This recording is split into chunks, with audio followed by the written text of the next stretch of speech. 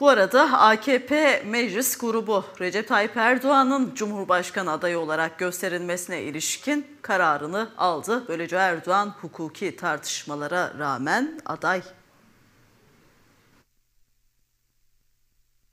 Habire Cumhur İttifakı'nın adayı belli olsun diyorsun. İşte söylüyorum. Cumhur İttifakı'nın adayı Tayyip Erdoğan. Cumhurbaşkanlığı adaylığı için oylama yapıldı. Karar oy birliğiyle alındı. AKP'nin adayı Recep Tayyip Erdoğan.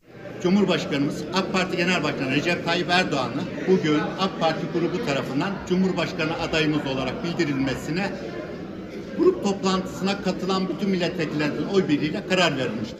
Cumhurbaşkanlığı ve milletvekili seçimlerinin günü netleşti. Türkiye 14 Mayıs pazar günü 13. Cumhurbaşkanını seçecek. Takvimin netleşmesiyle mecliste Cumhurbaşkanı aday gösterme süreci de başladı. AKP milletvekilleri Grup Başkanı İsmet Yılmaz başkanlığında toplandı.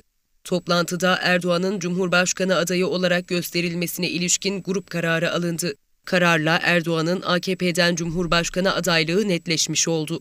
Ve Türkiye Büyük Millet Meclisi AK Parti Grup İç Yönetmenliğine göre Cumhurbaşkanımız AK Parti Genel Başkanı Recep Tayyip Erdoğan'ı bugün AK Parti grubu tarafından Cumhurbaşkanı adayımız olarak bildirilmesine grup toplantısına katılan bütün milletvekillerinin oy birliğiyle karar verilmiştir. 2014 yılına kadar 3 dönem başbakan seçildi Recep Tayyip Erdoğan. 2014'te birinci, 2018'de de ikinci kez Cumhurbaşkanı seçildi. Hukukçuların ve muhalefetin eleştirilerine rağmen üçüncü ve son kez aday olacağını açıkladı. 2023'te milletimizden kendi adımıza son defa istediğimiz destekten alacağımız güçle bu kutlu bayrağı gençlerimize teslim edeceğiz. Partisi de oy birliğiyle adaylığını kesinleştirdi. Karar önümüzdeki hafta YSK'ya bildirilecek.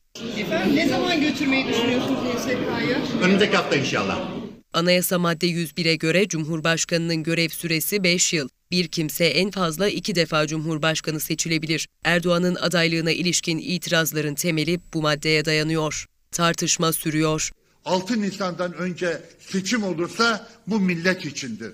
6 Nisan'dan sonraki seçim saray ve senin koltuğun içindir. Sayın Cumhurbaşkanımız 2023 seçiminde Cumhur İttifakı'nın aziz milletimizin ortak adayıdır.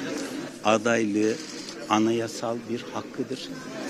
Hiçbir hukuki engel söz konusu değildir. Neyin ne olduğu bu anayasada yazıyor. Bu anayasayı yorumlamakta hukukçuların görevi.